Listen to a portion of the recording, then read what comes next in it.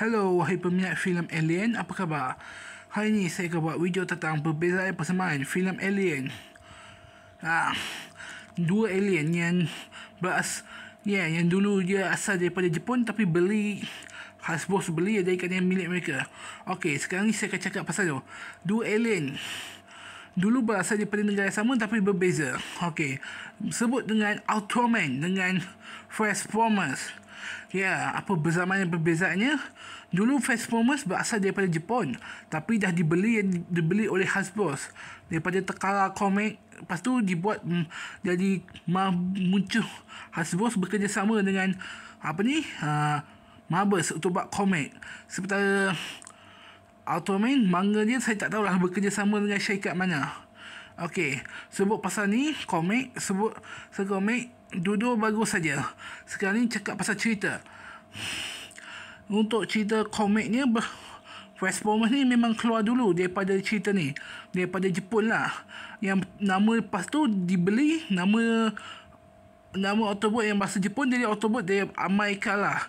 Lepas tu yang tu pun tukar nama dari macam Starticon tu pun jadi Amerika juga. Starticon dengan uh, memang dulu Transformers ni berasal daripada Amerika.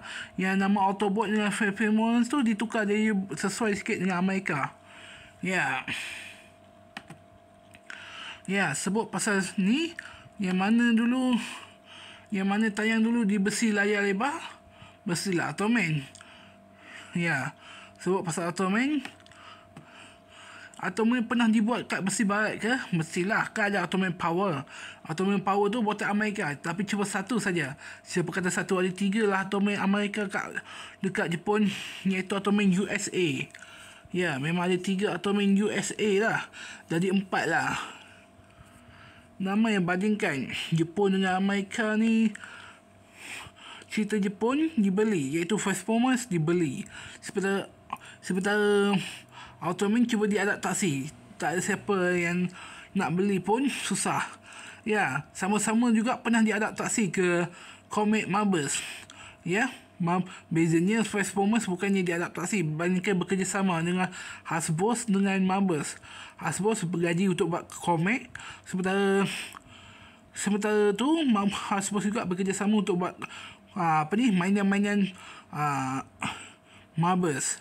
Lepas tu mereka hentikannya Mabus bergabung dengan syarikat mainan lain. Lepas tu, apa jadi? Ya, kerjasama tu dah berakhir. Jadi Transformers pun dah popular, lah action pun dah keluar. Lepas tu, Ultraman pun berusaha untuk buat cerita filem mereka sendiri untuk bersaing dengan Transformers. Ya, ceritanya sama-sama alien daripada luar angkasa tinggal di bumi. Bezanya, Ultraman perlukan human form ya perlukan human form untuk bertahan hidup sementara performance tak perlukan human form mereka hanya perlu bertukar jadi kenderaan saja sebab mereka robot. Ya.